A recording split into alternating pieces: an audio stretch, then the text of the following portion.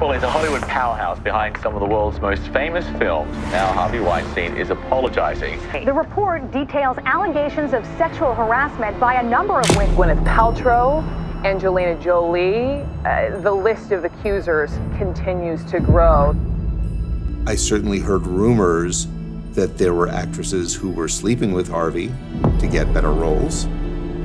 He said, Can we have a drink upstairs at yours? So obviously, this is the part that's very hard to talk about. Harvey Weinstein was known to be a bully.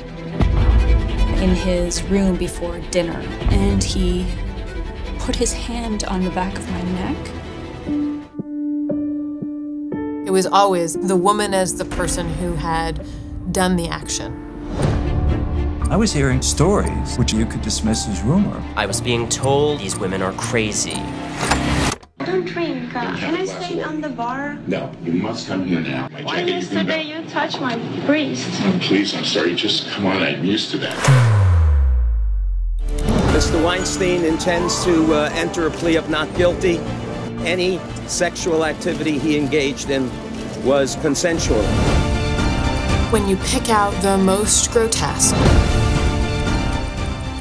It's not over.